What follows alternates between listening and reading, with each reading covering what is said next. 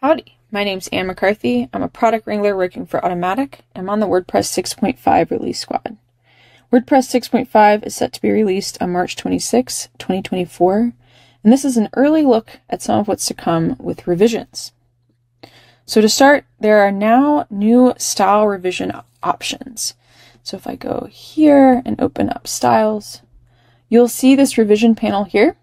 And within the revision panel, you'll notice that there's a description now of what's changed with each revision.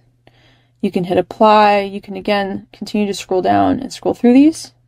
There's also um, pagination, which allows you to scroll between many different revisions, which this test site has a lot of.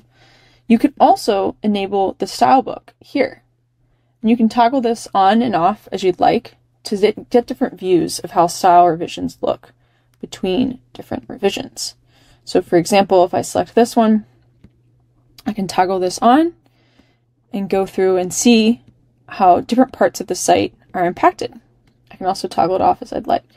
So this gives you a view of both the template and how each revision impacts individual blocks as well. Tied to this, there are also revisions shown now for templates and template parts. This is using the old interface, so if I click here, this brings me to an interface like this. Go back. It's available for both templates and template parts.